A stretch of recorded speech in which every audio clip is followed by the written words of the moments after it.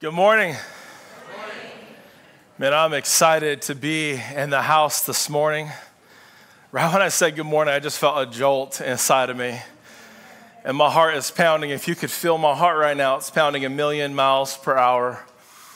Uh, if you've never met before, my name is Matthew, and I'm honored to be one of the pastors here at Venture Church. I know it seems like I'm confident up here, but just like you, I have hard weeks. And sometimes I think thoughts that have been spoken over me from a young man all the way up to the present time. And maybe like me, you can relate. I'm not good enough. I'll never succeed. I'm worthless. Nobody cares about me. I'm a failure. I'll never be happy. I'm so stupid. I didn't even go to theology school. I don't deserve good things. I'm a burden to others. I'll never get over this. I'm unlovable. I can't do anything right. I'll never be able to change. I'm too weak. I'll never be as good as that pastor ever was. I'm not worthy of love. I'm destined to fail. I'm a disappointment. I'm not capable of handling this.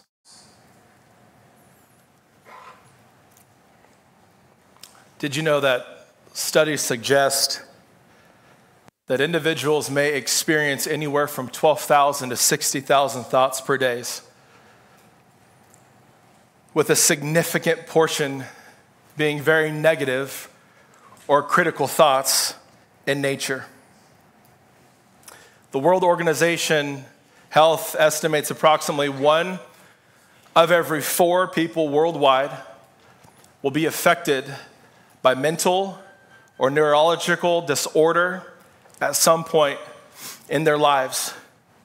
In the United States alone, 19.1% of adults, that's every one to five, will experience some sort of mental illness in a given year.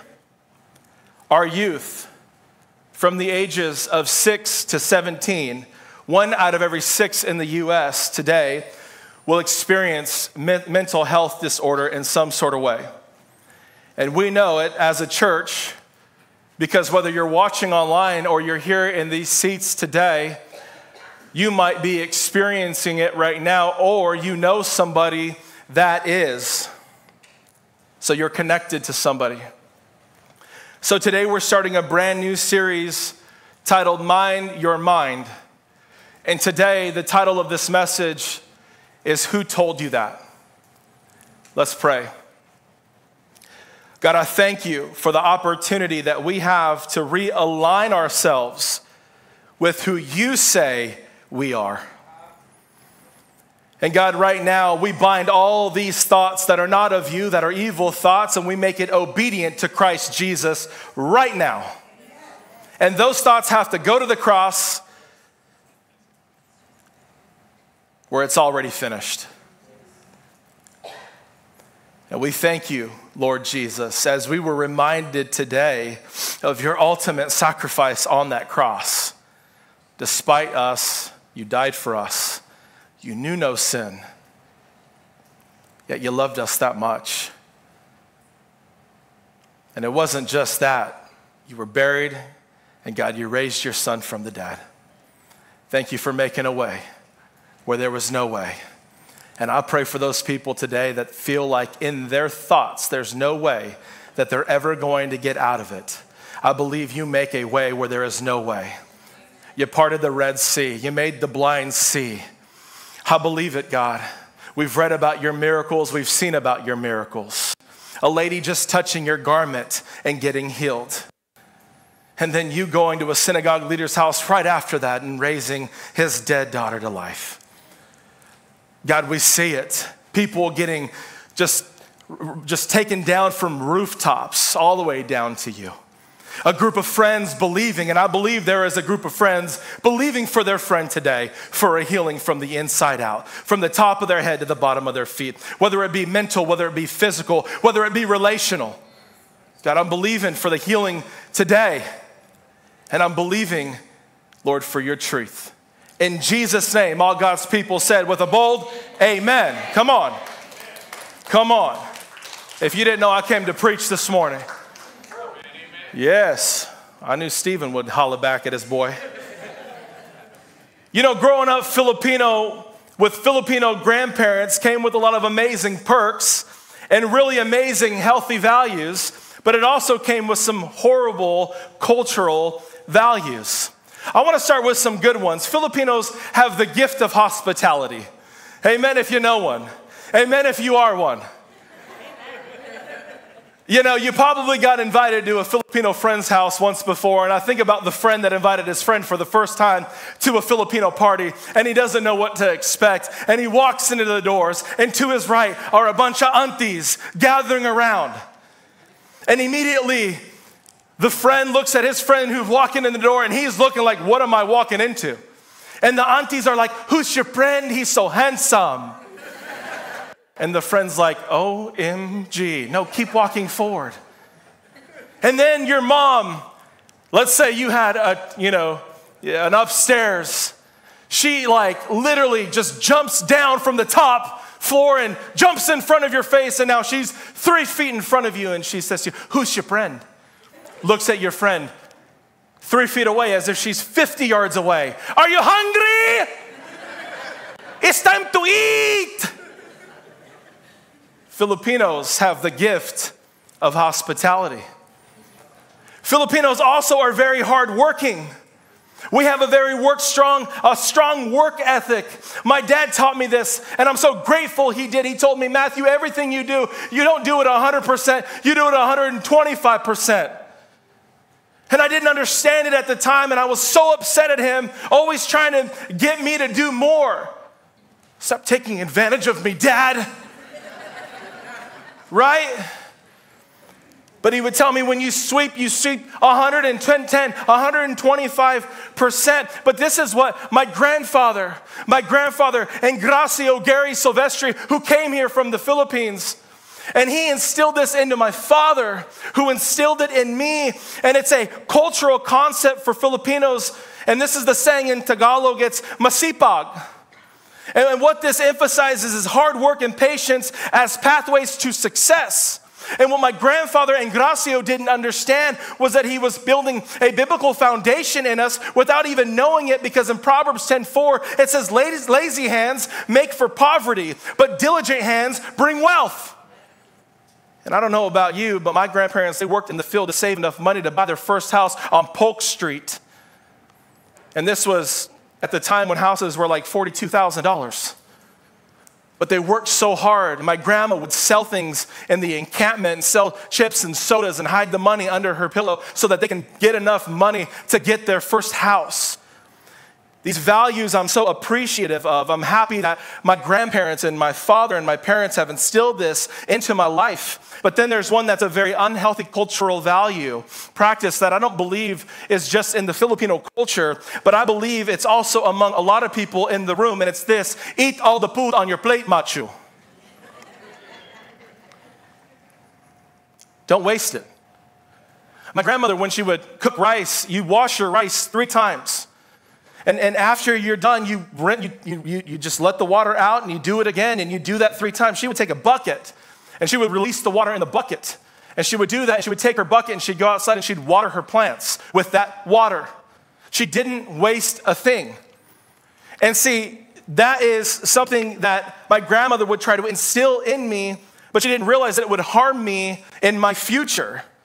It's a value of appreciation and frugality that promotes overeating and unhealthy eating habits when we're told, eat everything on your plate. And I'm still dealing with this today in my life. And maybe you are too. But what about you?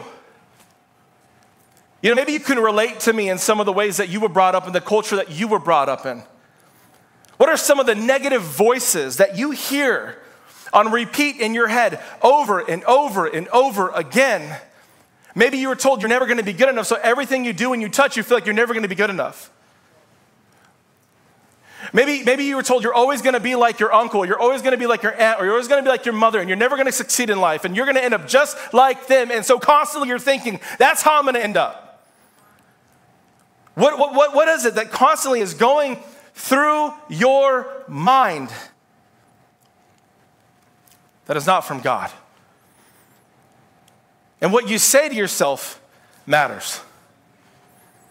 It matters more than you can imagine. Scripture says this in Proverbs 4:23, be careful how you think. Your life is shaped by your thoughts. Be careful what you think. This is in the Good News Translation. Your life is shaped by your thoughts. Pastor and author Paul Tripp says this No one is more influential in your life than you are, because no one talks to you more than you do. Did you hear that? Isn't that the truth?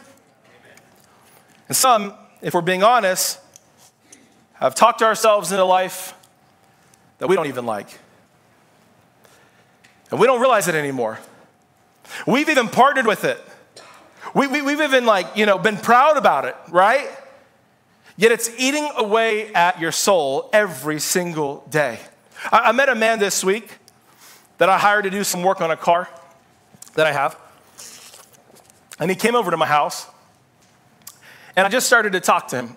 And we started talking about generosity of all things. And I started to talk to him about some of my you know, biblical principles and values that I live from when it comes to irrational generosity. And he started telling me about some of the things that he believed uh, generosity was, what, was what, what he practiced in his life. And we had some great conversation, and he was intrigued by, by what I was telling him. And I got to know him a little bit more. And I, you know, I asked him, like, so what do you do like on your own time? And, and, and he told me, keep in mind, this guy's 23 years old, and he's a very successful business young man. And he told me, you know, um, I don't do anything. I just work. Like seven days a week, all I do is I work. And I said, Well, hey, I want to invite you to church, man. Like, I want you to, like, there's a community at 320 Church Street that I'm telling you right now, like, you can be a part of. Because I don't believe that God created you just to work and that's it. Who told you that? Right? Who told you that this is all there was to life? He said, When I was younger, I used to talk to people. Now I only talk to people when I work to people. And I'm like, No, that's not what God wants for your life. And so I invited him and I said, Man, I love to see you. But do you see how we just start partnering with things? At a young age, there was something, I asked him what triggered that. He wouldn't, he wouldn't say, there was something though that triggered that in his life to believe, you know, life is just better alone. And that's the place where the enemy wants you to be. He wants you to be secluded. He wants you to hide out. He doesn't want you to come to your V group. He doesn't want you to be a part of community. He doesn't want you to go out with your friends when they invite you out to go have dinner. You know what I mean? Why is it so hard to come to church? I feel like it's like the gym. If I just get through the doors, I'm good. I don't know what those doors look like anymore, but I'm trying to get there. Freddie, hold me accountable, bro. No, he does. And I hold Freddie accountable. And Freddie, you're, you're like one of my best friends, bro. I just want to say that I love you so much. Thank you for always checking in on me and making sure I'm okay. We need community. Amen? We need community. Community matters to God. And I pray and I hope that that young man will experience the life that God created him for because he's not experiencing life to the fullest. I told this young man, man, Jesus came to give you life and life abundantly, but you got to watch out. The enemy comes to steal and kill and destroy. Could the way we think, could the way you be thinking, causing you to be or act out in a way that is not how God wants you to be. Maybe you're negative all the time. Maybe you're critical toward yourself or toward others. Maybe something happens in life and then you just go off, right? Like, beep! And I told you, beep! The, the second one was deeper because it got even worse, right? And it just doesn't translate there in person. You go on social media and you let everybody know this son of a gun, I'm telling you right now, he got me, I'm telling you, you know? That was my grandpa right there. Maybe you're, you're, you're, you're angry all the time. Maybe you need a quick fix just for an instant gratification. Maybe you become judgmental, blame yourself or blame others, you're jealous. Maybe, maybe you have this shame that's been casted on you, or you are shaming others. And maybe you're here today and you're entitled. The Apostle Paul would say this in Romans 8 5 through 6. He pins this down and he says, Those who live according to the flesh, I just want you to know this. This doesn't mean your skin if you're new to church, okay? And if you're new to God's word. It's not your skin. Flesh does not mean your skin. This means your sinful desires, okay? So insert that there. Those who live according to their flesh, their sinful desires, have their mindset on what the flesh desires, their sinful nature desires. But those who live according with the Spirit, someone say the Spirit, the Spirit of the living God, come on, somebody, have their mindset on what the Spirit desires. The mind governed by the flesh is death. But the mind governed by the Spirit is life and peace. Your thoughts have incredible power over the direction of your life. Experts say that These are some of the top ways and thoughts that cripple us. Number one, if you're taking notes, relational cynicism. It's a general distrust for people and their motives. People have taken advantage of you, so now everyone's always out for themselves, right? Everyone's selfish. You can't trust anybody anymore. Your guards are up. And when people that are good come into your life, you don't give them a chance anymore. And you've secluded yourself thinking that, you know what? I'm jaded. People have hurt me enough. I'm no longer going to trust anybody anymore. You know what experts say? It's generally because this is how you operate with people. Did you catch that? Experts say because if you feel that way about others, it's generally how you operate with others. Do not kill the messenger, please. But if this is you, and you already feel it if it is, and something went off inside you like that, don't run. And don't keep hiding it from God, but invite Him into that situation and say, Lord, I need you to heal me because this is not the way that you created me. This is not what you wanted for me. This is not how I love operating. He can heal you and He can change your life from the inside out. Amen. Number two, negative filtering. Negative filtering. You're const- you constantly are looking for what's wrong everywhere you go. You can't even see anything good anymore. You go into a store, right? And you get greeted, good afternoon, good to see you this morning. You know, oh, cool, yeah, okay. Hey, I'm looking for toothpaste. Yeah, I can tell your breath smells. Let's go this way. That's what they're thinking. That's not what they're saying, right? Right here, aisle four. There's a great selection. Hey, I got to use the restroom. Awesome. It's down aisle 30. But you know what? Let me just take you to aisle 30 and show you where it is. And then you walk up to the front, and then you see there's lines, right? And there's only two people in line, but that's just enough to set you off, right? This place is trash. I always come in here and there's lines all the time.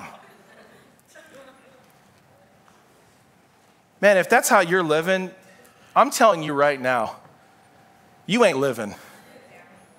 You're suffering. And that is not what God wants for your life.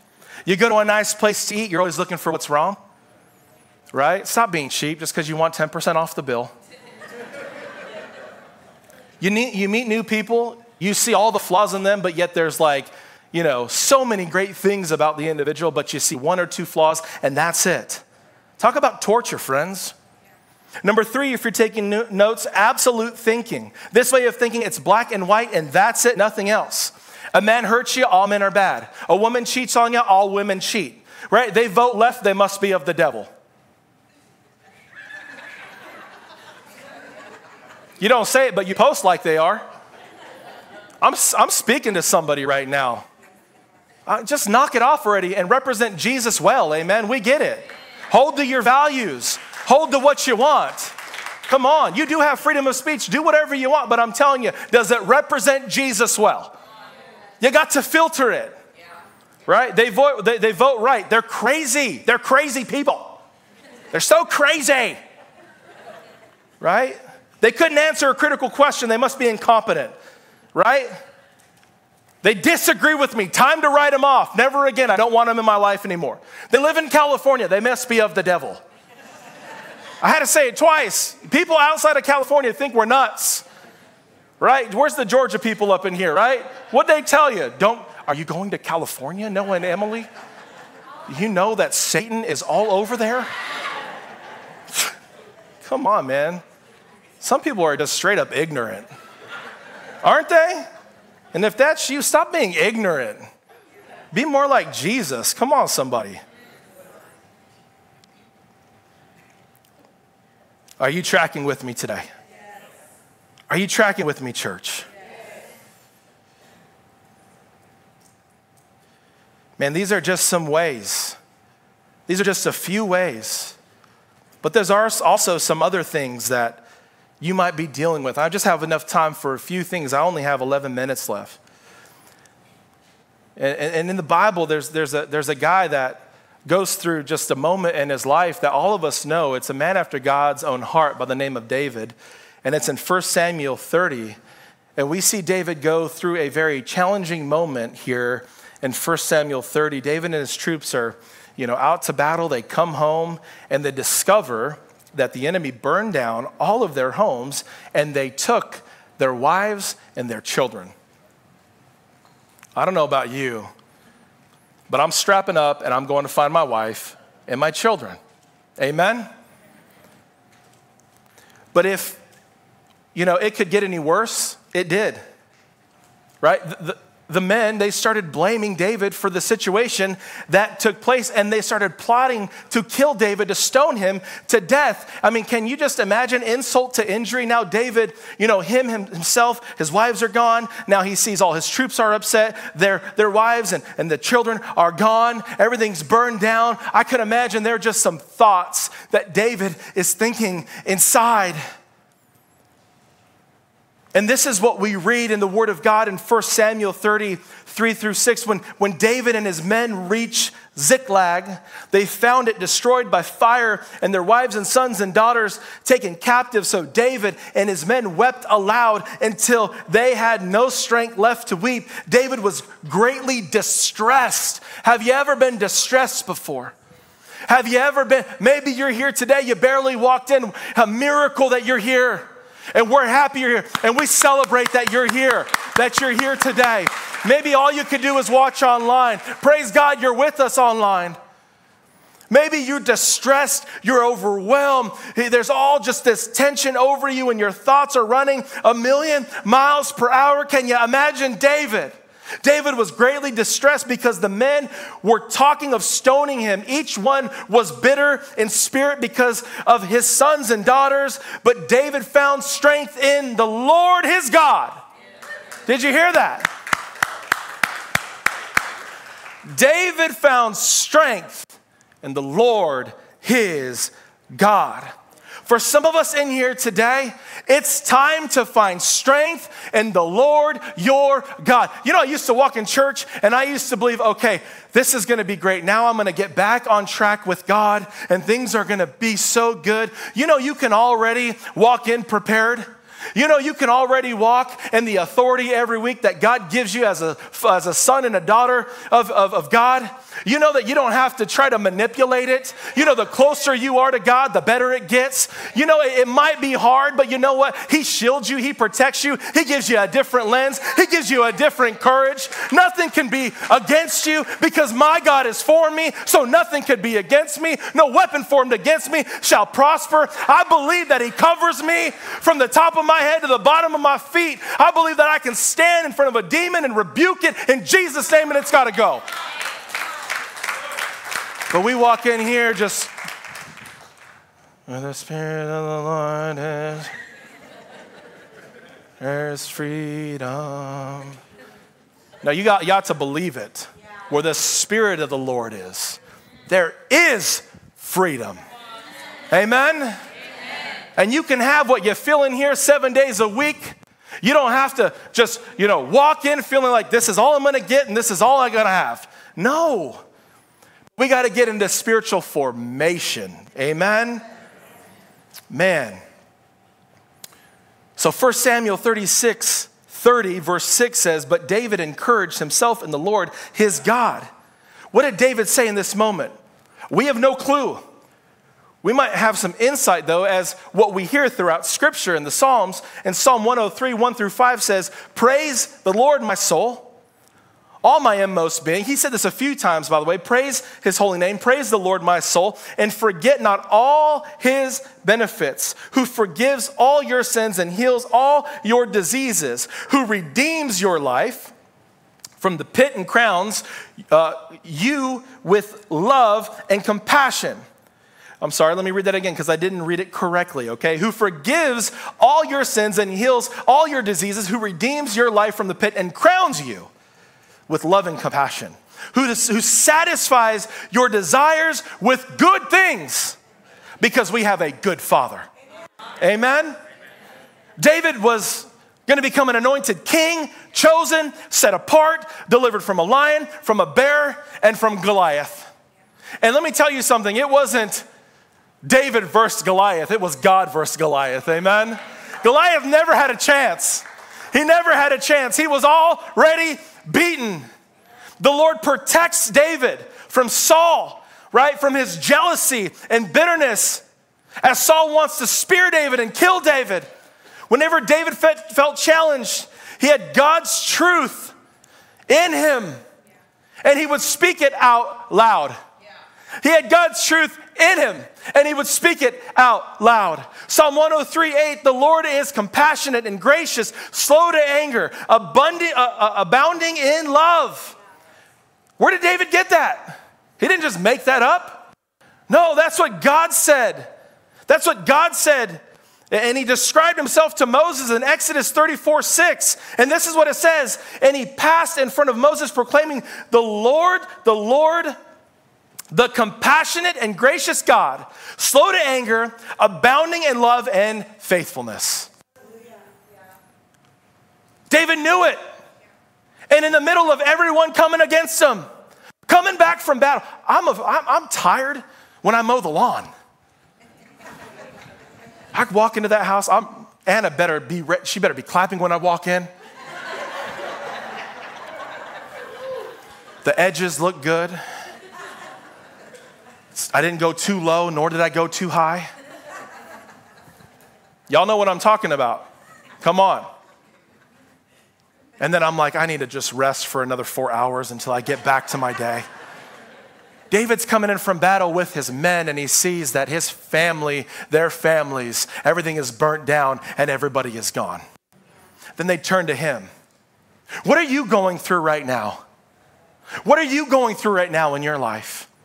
And who are you going to to make sure that you aren't going to fall into temptation, that you're not going to try to run your mouth and, and, and, and make a mess of your life and cause more damage to the situation that's happening right now? Where are you going for your strength? We ought to learn something from David because he went to his God. Amen? He didn't just meditate on it, he memorized it. We must know the word to combat the enemy and his lies. And those lies, some of us have partnered with those lies. And it's time to unpartner with them. Some of us, we have to do some intentional things today. Like open up our Bible and start to read it. Amen? Amen. I'm telling you, it's, it's worth it. It's worth your time. It's time well spent. I, I know social media has your attention. I, I, I know, I know because I know. And I'm telling you right now, uh, try to do something intentional today that as much time as you spend on social media is as much time you're going to spend in your word. And as it gets here, start to do this more more word, less social media, right? Maybe that's you today, and you've got to do some of those intentional things. I encourage you to do it.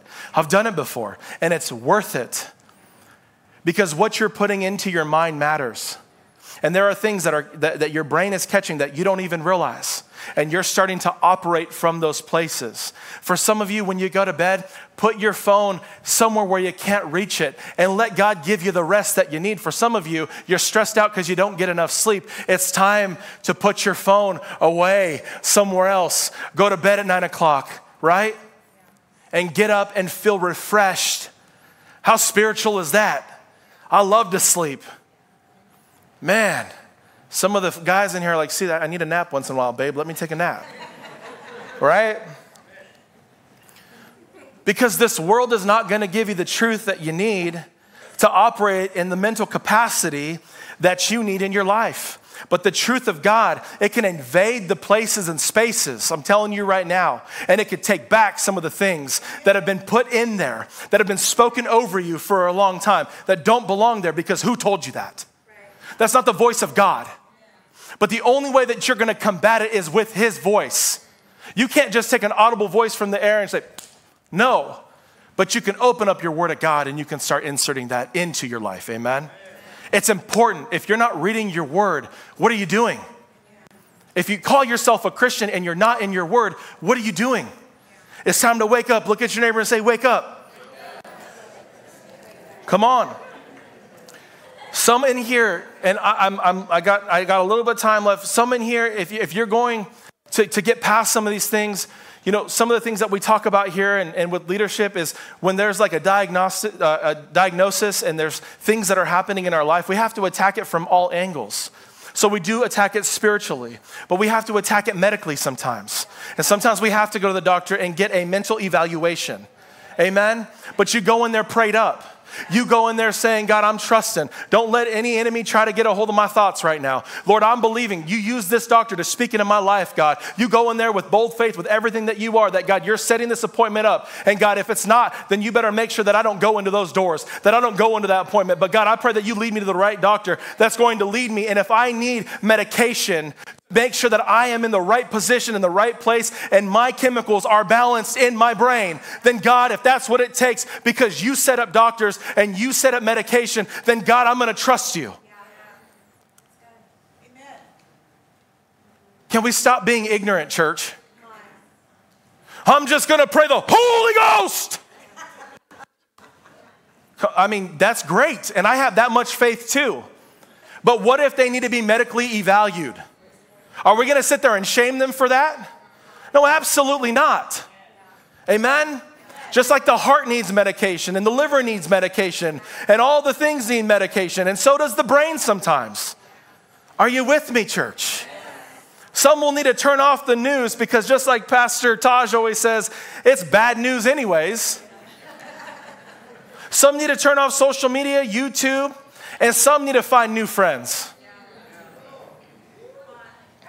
Come on.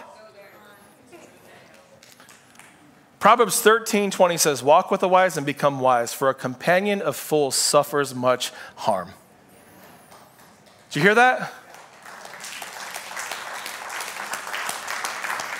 If you're, if you're running with fools and they're all like, Come on, come on, come on, we're doing it. I don't know who those guys are. Uh, sh- Come on, girl. I'm just saying what it is. Where are you walking into and where are you going? And what decisions are you about to make? And do you have a bold faith as you walk in there to say, in oh no?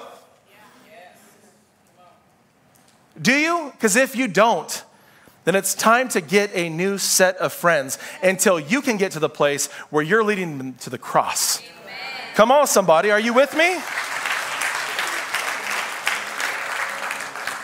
Your thoughts have incredible power, and you have incredible power over your thoughts.